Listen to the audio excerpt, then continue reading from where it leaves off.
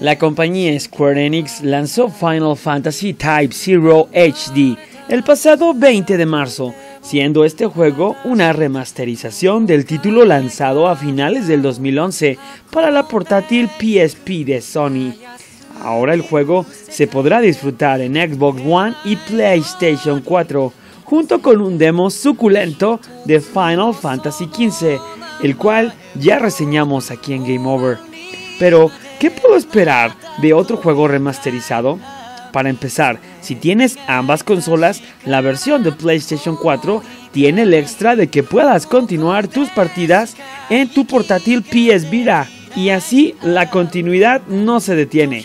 Sin en cambio, si tienes un Xbox One, sin duda estamos seguros un 80% de que nunca has probado un RPG japonés o que tienes una mala referencia de ellos por ser lentos y aburridos. Para empezar mencionaremos que en Final Fantasy Type 0 HD no se aleja de eso, pero no significa que sea malo. Sin duda estamos invadidos desde hace ya varios años de shooters, gore y juegos de carreras, y algo distinto a esto lo consideramos como malo.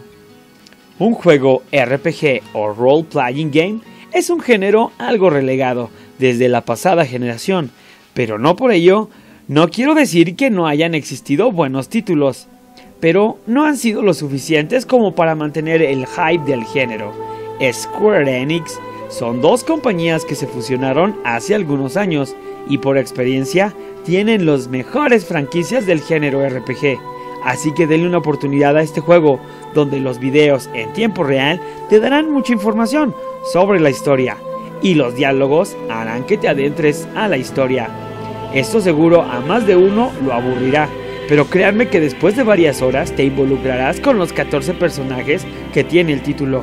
12 de ellos son los principales, ya que son la clase Zero del Peristerium School of Magic.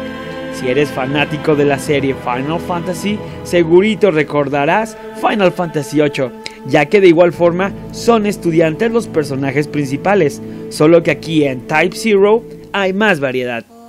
El mundo de Final Fantasy Type Zero se llama Oriens y se compone por 20 lugares a visitar, para apoyar o atacar, ya que retoma el clásico estilo de ir caminando de pueblo en pueblo, o si lo prefieres, ir montado en un chocobo, para evitar los enfrentamientos tipo random.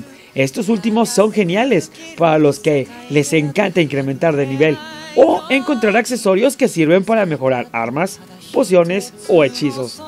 Todos los personajes tienen vitalidad, que es tu energía.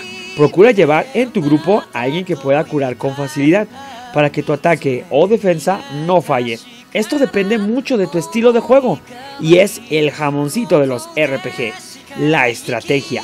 Debes de conocer las ventajas de los personajes, ya que algunos son más adecuados en ciertos momentos. Aquí los diálogos no los puedes evitar. O mejor dicho, sí, pero no te enterarás de ciertos detalles que seguro no entenderás después. El juego promete más de 50 horas.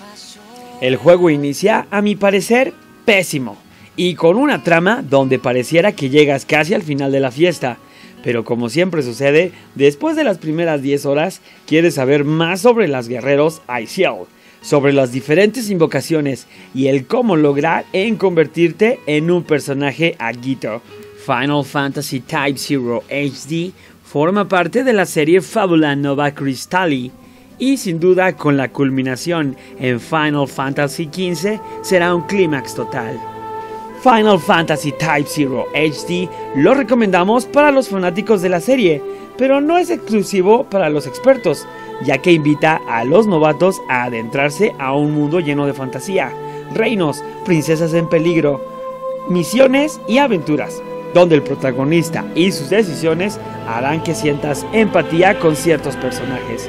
Incluso hay ocasiones que sentirás que eres parte de la historia. Nos vemos.